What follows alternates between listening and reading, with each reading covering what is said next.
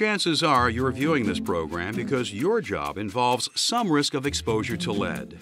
This risk is associated with many types of activities, including the manufacturing and recycling of lead acid batteries, sanding and stripping lead-based paint, repairing and servicing automobile brakes, welding or cutting old painted metal, manufacturing ceramics or electronics, and the smelting, refining, alloying, and casting of metals. To protect workers from the harmful health effects of these types of lead exposures, OSHA issued its lead standard 29 CFR 1910.1025. This regulation sets limits on how much lead employees are allowed to be exposed to, and it establishes procedures employers must follow in order to reduce lead exposure in the workplace as much as possible. For example, before work can start on any project or process that involves lead, employers are required to develop a written compliance program.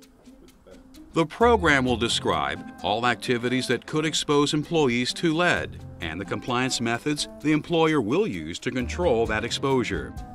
There are three general types of compliance methods administrative controls, engineering controls, and personal protective equipment.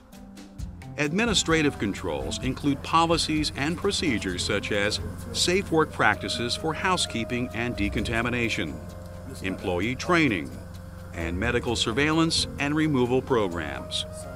Engineering controls include physical and mechanical safeguards such as isolation and containment of a lead hazard area, mechanical ventilation with appropriate filters, and special vacuums for cleanup and decontamination. The third type of compliance method, personal protective equipment, is anything you wear to protect yourself when administrative and engineering controls alone can't reduce your lead exposure to acceptable levels. This might include overalls, respirators, gloves, hats, goggles, and face shields, whatever is appropriate for the job you are doing. Another key part of the compliance program is employee training.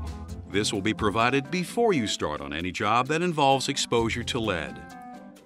The training will include information about the health hazards associated with lead exposure, the requirements in the OSHA lead standard, and the contents of your employer's compliance program. You will also learn how to properly use and maintain any PPE that you'll need to wear on the job. Your employer will make any of this information available to you upon request as well.